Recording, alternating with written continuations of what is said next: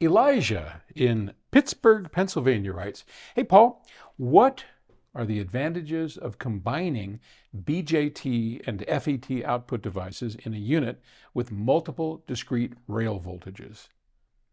Are they strictly electrical? Is there a sonic benefit? Or is this likely what was decided on as optimal for this price point and form factor?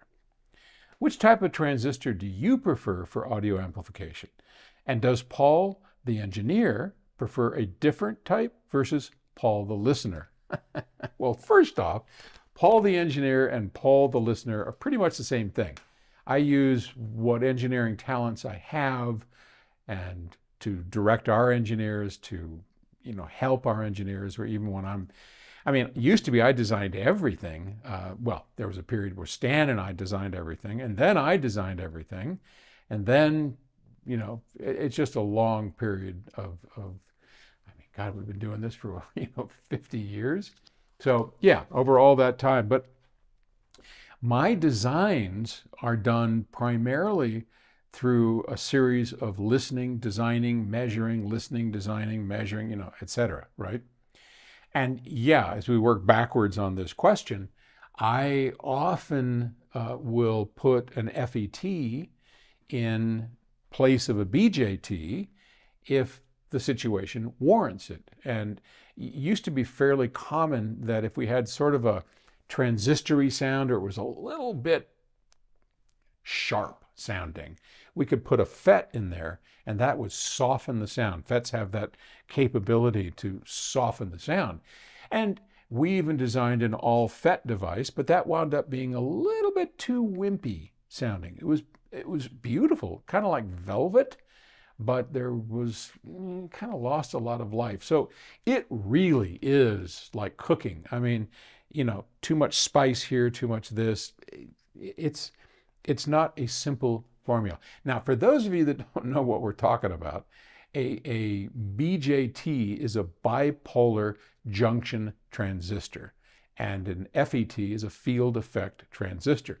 What's the difference? Well, a BJT is our standard transistor. That's what we think of.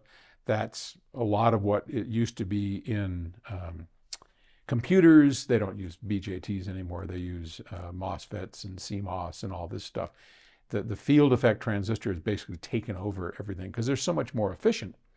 But a BJT is your standard PNP, NPN transistor.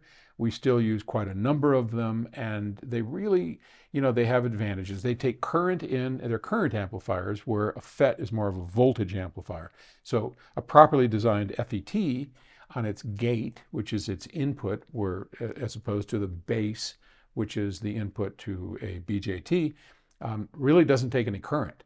And they're, they're kind of voltage devices. The closer, the closest thing you can get to a vacuum tube in solid state is an FET or a MOSFET, which is a, just a different kind of FET. Uh, why they would use some at different rails in a design, I, I don't know.